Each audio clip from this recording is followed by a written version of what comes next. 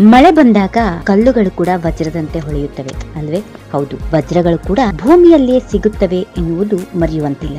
ಹಾಗಾದ್ರೆ ವಜ್ರ ಅಂದ್ರೇನು ವಜ್ರ ಹೇಗೆ ತಯಾರಿಸಲಾಗುತ್ತೆ? ಅದು ಎಲ್ಲಿ ಸಿಗುತ್ತೆ ಅನ್ನೋದು ಪ್ರತಿಯೊಬ್ಬರಿಗೂ ತಿಳಿದಿರುವಂತಹ ವಿಷಯ. ವಜ್ರ ಸಾಮಾನ್ಯವಾಗಿ ಭೂಮಿಯ ಆಳದಲ್ಲಿ ಸಿಗುವಂತಹ ಒಂದು ವಸ್ತು. ವಜ್ರವನ್ನ ವಜ್ರದಿಂದ ಕೊಯ್ಯಲು ಮಾತ್ರವೇ ಸಾಧ್ಯ. ಇತರ ಕಲ್ಲುಗಳಂತೆ ವಜ್ರವನ್ನ ಒಡೆಯಲು ಸಾಧ್ಯವಾಗುವುದಿಲ್ಲ. ಇದು ಗಟ್ಟಿಯಾದ, ದೃಢವಾದ ಪದಾರ್ಥ. ಕಾರ್ಬನ್ ಅಣುಗಳ ಸಮುದಾಯದಿಂದ ಕೂಡಿರೋದ್ರಿಂದ ಇದು ಪ್ರಕೃತಿ ದತ್ತವಾದಂತಹ ಕೊಡುಗೆಯೇ ವಜ್ರ. ನವರತ್ನಗಳಲ್ಲಿ ಒಂದಾದ ವಜ್ರಕ್ಕೆ ತನ್ನದೇ ಆದ ಪ್ರಾಶಸ್ತ್ಯ ಇದೆ. ಇದು ಬಹಳ ಕಠಿಣವಾಗಿಯೂ ದೃಢವಾಗಿಯೂ ಇರುವಂತಹ ಹೊಳಪಿನಿಂದ ಕೂಡಿರುವಂತಹ ವಸ್ತುವಾಗಿದೆ. ಇನ್ನು ವಜ್ರದ ಬೆಲೆ, ವಜ್ರದ ಮೌಲ್ಯ ಪ್ರತಿಯೊಬ್ಬರಿಗೂ ತಿಳಿದಿದೆ. ಇದು ಇದ್ದವನು ಕೋಟೇಶ್ವರನೇ ಸರಿ. ಅಷ್ಟೊಂದು ಬೆಲೆ ಬಾಳತಕ್ಕಂತಹ ವಸ್ತುವೆ ವಜ್ರಗಳು. ಇನ್ನು ಇಂತಹ ವಜ್ರಗಳು ಒಬ್ಬ ಬಡ ಕೂಲಿಗೆ ಯಾವ ರೀತಿ ಗೊತ್ತಿರುತ್ತೆ? ಕೇವಲ ಹೆಸರಿನಿಂದ ಮಾತ್ರವೇ ಅಲ್ವೇ ಕೂಲಿಗಳು, ಬಡವರು, ಪ್ರತಿನಿತ್ಯ ಹೊಟ್ಟೆ ಹೊರುವವರು ವಜ್ರದ ಹೆಸರನ್ನು ಮಾತ್ರ ಕೇಳಿರ್ತಾರೆ. ವಜ್ರವನ್ನ ನೋಡಿರೋದು ಬಹಳ ದೂರದ ಮಾತು. ಇನ್ನು ಕೂಲಿ ನಾಲಿ ಮಾಡಿಕೊಂಡು ಹೊಟ್ಟೆ ಹೊರುತ್ತಾ ಇರುವವರು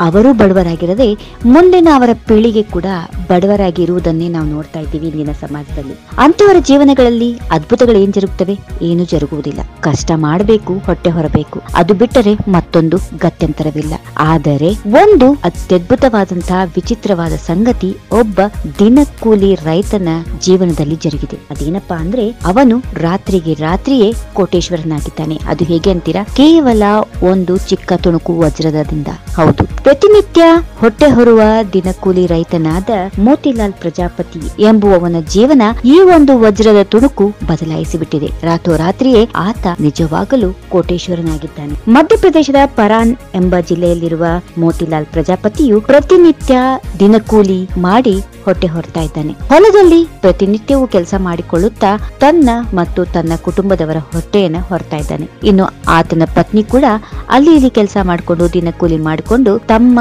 ಸಂಸಾರದ ಬಂಡಿಯನ್ನ ಎಳೆಯುತ್ತಿದ್ದಾಳೆ. ಹೀಗಾಗಿ ಇವರು ತಮ್ಮ ಮಕ್ಕಳನ್ನ ವಿದ್ಯಾಭ್ಯಾಸಕ್ಕೆ ಕಳಿಸಲಾಗದೆ ಮನೆಯಲ್ಲೇ ಬಿಟ್ಟು ಇವರಿಬ್ಬರು ಪ್ರತಿನಿತ್ಯ ಕೆಲಸಕ್ಕೆ ಹೋಗುತ್ತಿದ್ದಾರೆ. ಆದರೆ ಒಂದು ದಿನ ಮೋತಿಲಾಲ್ ಪ್ರಜಾಪತಿ ಹೊಲದಲ್ಲಿ ಭೂಮಿಯನ್ನ ಅಗಿಯುವಾಗ ಯಾವುದೋ ಒಂದು ಹೊಳಪಿನ ವಸ್ತು ಕಾಣಿತು. ಆದರೆ ಅದನ್ನ ಕಡೆಗಣಿಸಿದ ಮೋತಿಲಾಲ್ ಪ್ರಜಾಪತಿ ಯಾವುದೋ ಕಾಜಿನ ತುಣುಕಿರಬಹುದು ಎಂದು ಮುಂದೆ ತನ್ನ ಕೆಲಸವನ್ನ ತಾನು ಮಾಡುತ್ತಾ ತನ್ನ ವ್ಯವಸಾಯದಲ್ಲಿ ಲೀನವಾದ. ಆ ಹೊಳಪಿನ ವಸ್ತು ಆತನ ಅರಗಿ ಹೋದ ಹಳೆಯದಾದ ಚಪ್ಪಲಿಗೆ ತಗಲಿ ಹಾಗೆಯೇ ಉಳಿದುಕೊಂಡು ಬಿಟ್ಟಿತ್ತು. ರಾತ್ರಿ ಮನೆಗೆ ಮರಳುವಾಗ ಆತನ ಕಾಲಿಗೆ ಏನೋ ಚುಚ್ಚಿಕೊಂಡಂತೆ ಅನಿಸಿತ್ತು. ಯಾಕಂದ್ರೆ ಅರಿಗೆ ಹೋದ ಚಪ್ಪಲಿಯಿಂದ ಆತನಿಗೆ, ಆತನ ಪಾದಕ್ಕೆ ಚುಚ್ಚುವುದು ಸ್ಪರ್ಶವಾಗುತ್ತಿತ್ತು. ಮನೆಗೆ ಹೋದ ತಕ್ಷಣ ಚಪ್ಪಲಿ ಬಿಚ್ಚಿ ನೋಡ್ತಾನೆ ಆ ಹೊಳಪಿನ ವಸ್ತು ತನ್ನ ಚಪ್ಪಲಿಗೆ ತಗಲಿತ್ತು. ಏನಿರಬಹುದು ಎಂದು ತೆಗೆದು ಕೈ ಕಾಲನ್ನ ತೊಳ್ಕೊಂಡು ಅದನ್ನ ತೊಳೆದು ನೋಡ್ತಾನೆ ಅದು ಹೊಳೆಯುತ್ತಿರುವಂತಹ ವಜ್ರವಾಗಿತ್ತು. ನಲವತ್ತೆರಡು ಪಾಯಿಂಟ್ ಒಂಬತ್ತು ಕ್ಯಾರೆಟ್ನ ವಜ್ರವದಾಗಿತ್ತು. ಅದನ್ನ ತೆಗೆದುಕೊಂಡು ಅನುಮಾನಾಸ್ಪದವಾಗಿ ನೋಡಿದಾಗ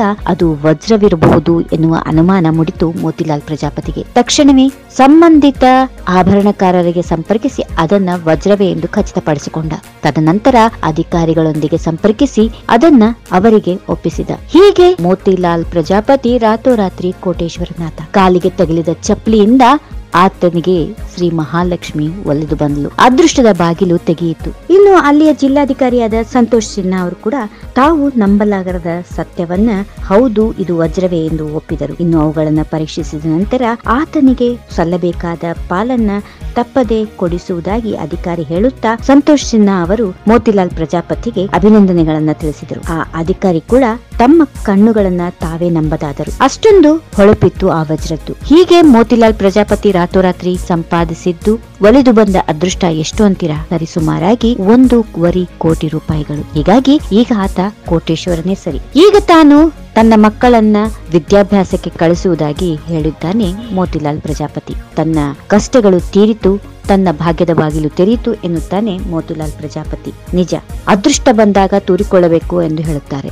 ಅದೃಷ್ಟ ಮೋತಿಲಾಲ್ ಓರಾಗೆ ಚಪ್ಪಲಿಗೆ ಹತ್ತಿ ಮನೆತನ ಬಂದು ಆತನ ಅದೃಷ್ಟದ ಬಾಗಿಲು ಬಡಿದು ತೆಗೆದುಕೊಂಡಿದೆ. ಅಲ್ವೇ? ಹೌದು. ಈ ವಿಡಿಯೋ ನಿಮಗೆ ಇಷ್ಟವಾದಲ್ಲಿ ತಪ್ಪದೆ ಲೈಕ್ ಮಾಡಿ, ನಿಮ್ಮ ಸ್ನೇಹಿತರಿಗೆ ಶೇರ್ ಮಾಡಿ, ನಿಮ್ಮ ಕಾಮೆಂಟ್ ಅನ್ನ ಕಾಮೆಂಟ್ ಬಾಕ್ಸ್ ಅಲ್ಲಿ ತಿಳಿಸಿ. If you like this video ಬೇಗ ಲೈಕ್ ಮಾಡಿ ಕಾಮೆಂಟ್ ಮಾಡಿ ಶೇರ್ ಮಾಡಿ ಹಾಗೂ ಯೋಯೋ ಟಿವಿ ಕನ್ನಡವನ್ನು ಸಬ್ಸ್ಕ್ರೈಬ್ ಮಾಡಿ.